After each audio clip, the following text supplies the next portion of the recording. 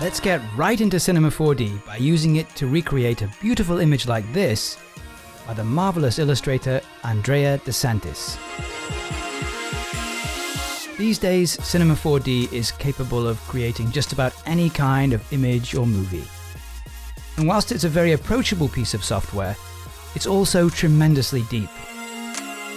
It has to be taken one step at a time, and using it to recreate the simple, elegant lines of this image is a perfect way to start learning some of the core skills you'll need as a 3D artist.